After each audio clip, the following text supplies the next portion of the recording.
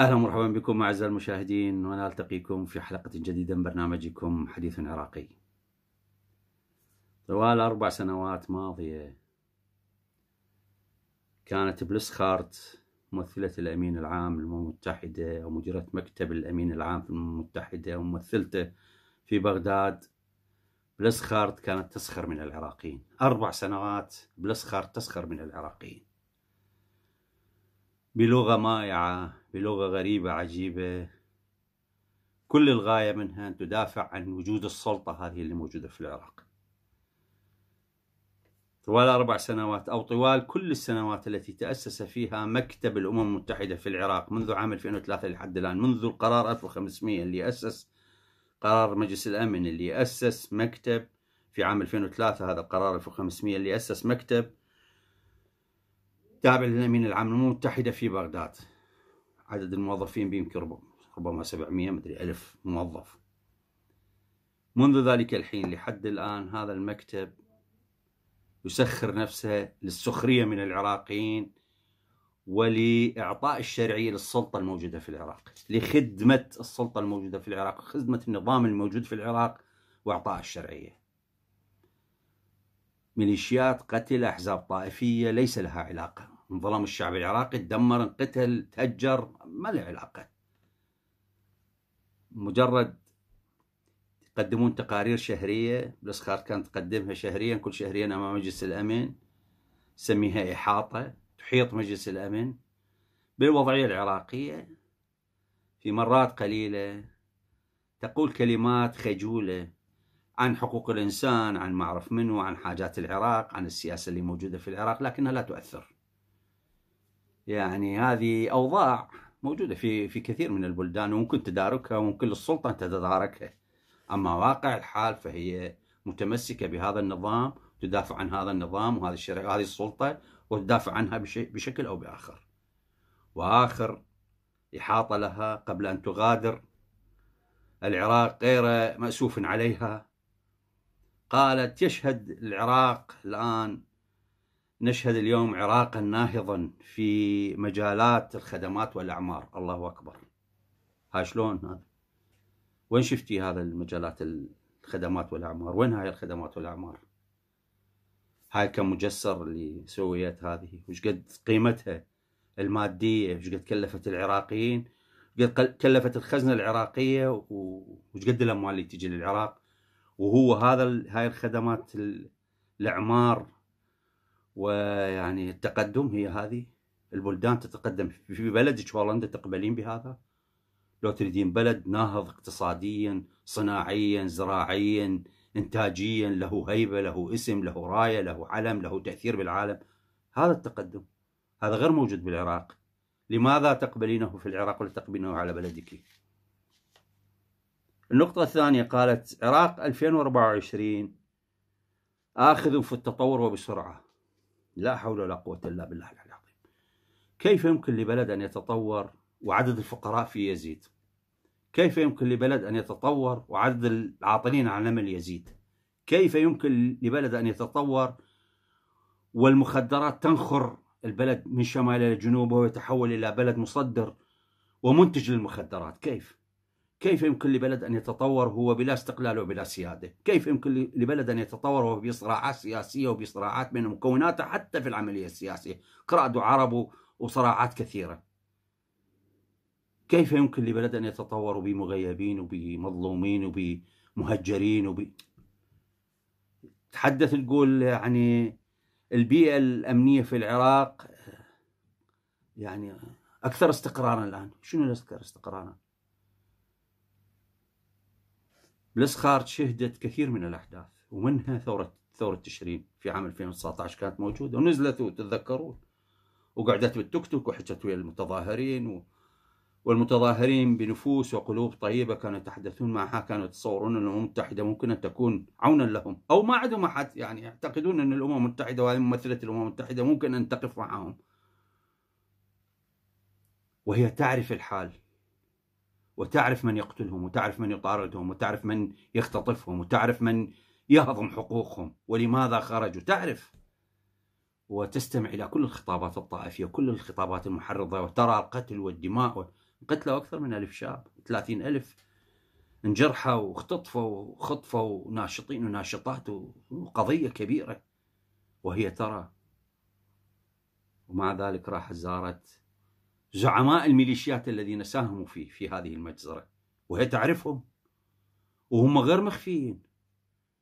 يعني في بعض الحالات في بعض الحوادث التي حصلت ضد ثورة تشرين كانت الميليشيات تنادي بأسمائهم وترفع لافتاتهم تقول يعني وراحت وعندما سألوها كيف تلتقين من الميليشيات وتلتقين ب... قالت هؤلاء جزء من من المنظومة الأمنية العراقية جزء من الحكومة وأنا ألتقي بهم ليش لا؟ أنا أتشرف أن ألتقي بهم. طيب. الأمم المتحدة بميثاقها؟ هي قامت لأجل من؟ قامت لأجل الشعوب ولا لأجل الحكومات؟ ما قامت لأجل الشعوب. والشعوب مظلومة الشعب العراقي مظلوم. مخرب ومدمر وممزق وبمهجرين وبنازحين. شهدت في فترة من الفترات وهي موجودة شهدت نزوح أكثر من ستة ملايين عراقي. ماذا فعلت؟ لم تفعل شيئا. لذلك أنا أقول بالإسخار تسخر من العراقيين. تعرف فساد العراق تعرف السرقات وتعرف ومكتبها في العراق متهم بالفساد. ما الجارديان صحيفة الجارديان البريطانية ومن أشهر الصحف قالت إنه في في يعني في موضوع طويل لها و... والتقت بكثير من الناس وأكدوا لها. انه موظفي هذا المكتب يبتزون العالم بالرشا لكي يعطوهم يعطوهم مقاولات ما هي آه، برنامج الأمم المتحدة الإنمائي لديه لديه يعني برامج للبناء لإنشاء آه، مؤسسات معينة في العراق. هاي ما تعطى إلا للشركات ومقاولين الدول إلا بأن يعطون 15% من الرشا. هكذا يقولون. وماذا فعلت بسخارت وماذا فعلت الأمم المتحدة؟ طيب ما قيمة الأمم المتحدة الآن عندما يكون شكلها هكذا؟ ما أنت هذا يرجعنا إلى عام 1945 من عام 1945 لحد الآن. قيمة الأمم المتحدة قوتها من قوة مجلس أمنها مجلس أمنها الخمسة الدائمين. هؤلاء يمثلون أنفسهم ومصالحهم بيناتهم تحالف يريدون أن يمرروه عن طريق الأمم المتحدة. أمريكا التي تهضم حقوق العالم هي من تتحكم بمجلس الأمن. والأمم المتحدة دائرة ومؤسسة تابعة للخارجية الأمريكية. هذا واقع الحال. من يقول غير هذا؟ الآن والله الأمم المتحدة يعني السودان يصدر بيان يقول كافي. يعني إحنا بلد خلاص إحنا نهضنا وإحنا كذا وانهوا العمل. واللي قدم الطلب لإنهاء البعثة أرسل عن طريق يعني ممثليه العراق بالأمم المتحدة. لم لم لم يوجه برسالة من وزارة الخارجية ومن الحكومة العراقية إلى مجلس الأمن. ما هو القرار؟ قرار مجلس الأمن مو قرار الامين العام المتحدة. لكن هكذا يلعبون. وبتوصية من بلسخارت نفسها التي تسخر من العراقيين. هي في بلدها كانت وزيرة الدفاع. في وقت الذي اعتدوا فيه على العراق واحتلوا العراق وشاركت في احتلال العراق والطائرات الهولندية قصفت ال...